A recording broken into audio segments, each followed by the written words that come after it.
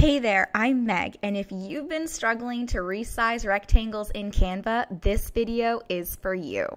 I have totally been there, and I'm kind of embarrassed to admit how long it took me to figure out how to do it. So this video is me sharing with you how to crack that code. I will meet you on Canva in just a bit. So here we are in Canva, and it doesn't matter whether you're working with a print flyer or a social media graphic, the rules of the rectangle apply universally. So for the purposes of this tutorial, I'm just going to create a social media graphic. So here I am in the design dashboard. And if you have tried working with rectangles before, you probably went on over to the elements button, which is what you want to do. And the shortcut for finding a shape is just to start typing it in. And all of these results will come up. Yes, some of them are squares. And I'll show you why. So I used to use a rectangle. It was black. And I have not been able to find it lately. So I've just been clicking on this one to use for examples. And it does have that annoying little drop shadow, but not to worry. We're not going to be working with rectangles anyway. No, we are not going to be using the rectangle shapes to create custom rectangles. I will show you why. You'll notice on rectangles there are these four circles in the corners. This means that you can resize the shape proportionally.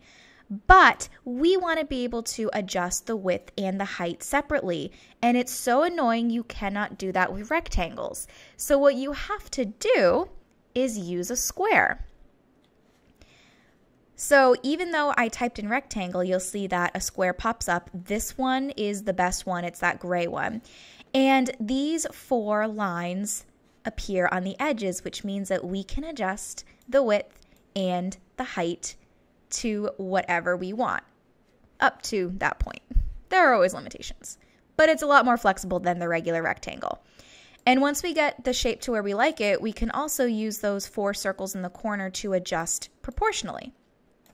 So that is how you create custom rectangles in Canva. You really want to use the square.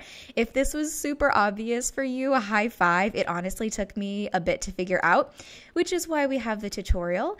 And before we end this tutorial, I did want to point out that these square rules do not apply when you're working with a frame.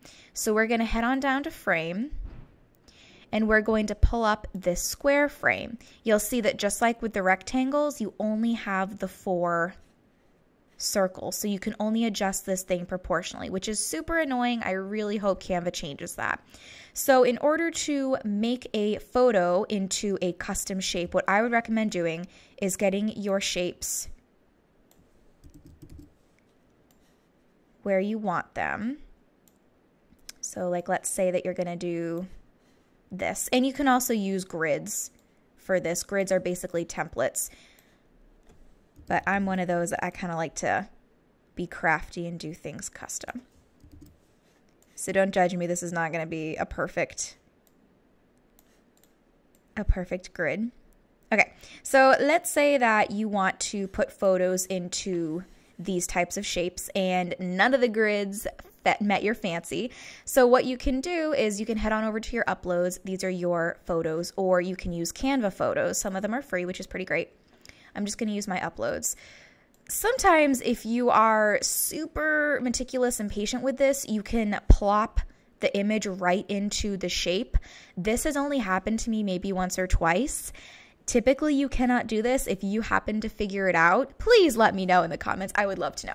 But what I have been having to do is I just plop my shape in, and I'm literally going to use these shapes as a guide. And I can double click on my image to move how I want it to be cropped, which is pretty great. Let's use this one. And that's pretty much it. One thing to note is that the image, the sorry, the shape is still going to be in the background. So you can delete it or if not, it, it shouldn't show up when you download your design. The image should hide that. So basically that is how you create a custom rectangle in Canva. Again, use the square. And as with all shapes, you can change the color. If you'd like to learn more about Canva, check out my online Create with Canva course. It covers more tutorials like this one, as well as how to set up and organize your Canva account for ultimate efficiency. Plus, the course can be completed in less than an hour. Check out my link in bio below to find out more.